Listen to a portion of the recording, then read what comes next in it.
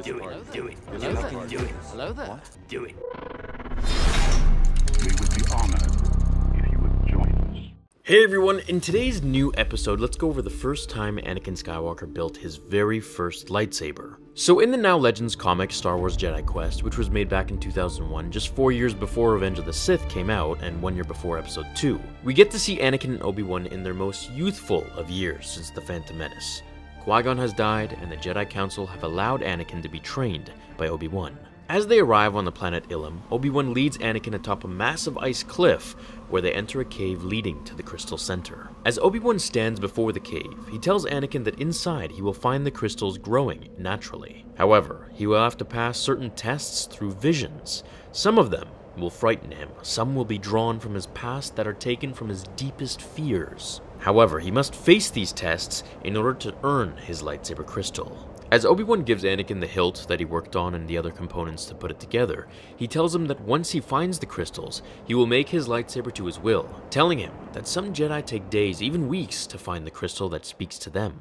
As Anakin walks through the cave, he sees himself as he was on Tatooine, a young boy, a slave, when his attention is taken to his feet as they are now dripping in blood, when his mother runs to him screaming for help as a monster grabs her. Now this monster kinda looks like the same one that's in the story and his name is actually Crane. I did a video covering him and it's titled Anakin's first kill with his first lightsaber, so I can either re-upload that one or link it at the end here just for your convenience. As Anakin yells at him that he'll kill him and sends a shockwave of force energy to make the vision disappear, he notices the crystals around him glowing.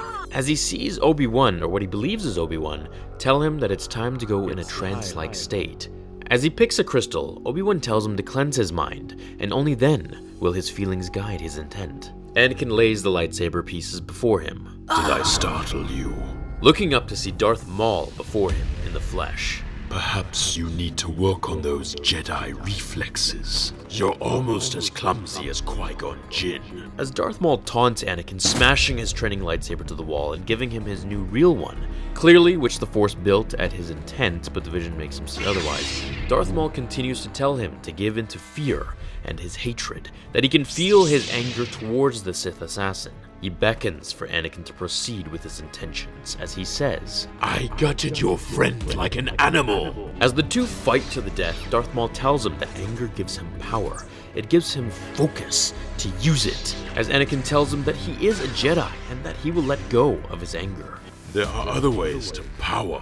Maul tells him, Anakin says that it's not power that he seeks. Then you lie. How else will you save your poor mother you abandoned if you do not have power? As Anakin slashes through Maul, he is reminded that this is all just a vision. When he is slammed backwards by Maul's force push, Anakin tells him that he created him, and he can also make him go away. When Maul retreats into the shadows and whispers, But I will return.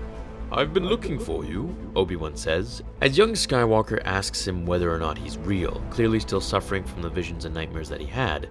Obi-Wan looks at his new lightsaber that he built, while entranced, as Anakin tells him he had many visions, and one of them was Obi-Wan telling him to enter a trance-like state, as his master tells him that when he allows his instincts to take over, they will never fail him. The Force is always with you. At this moment, they get a call from the Jedi Council. A mission is awaiting them on Coruscant.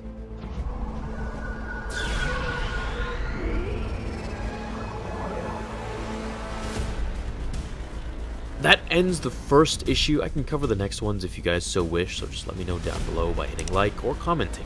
What I really like here is how Obi-Wan tells Anakin to always trust his instincts, but I don't think Anakin should have done that when he was against Palpatine and Mace Windu. Now, something I also want to bring your attention to is when Anakin has the vision, it's Darth Maul telling him that he is the master that he always wanted, and that he will return. Now, this isn't to say that Darth Maul will return, but rather it's just a metaphor saying that the dark side within Anakin will return. And of course, as we saw, it did. Maybe Disney will cover this story someday for their new canon, but until then, we have these awesome Legends ones for our amusement, and I hope I can bring them to life for you. Thanks for watching, everyone. Until the next episode of Star Wars Theory, remember, my fellow Jedi and Sith friends, The Force will be with you always. wasted.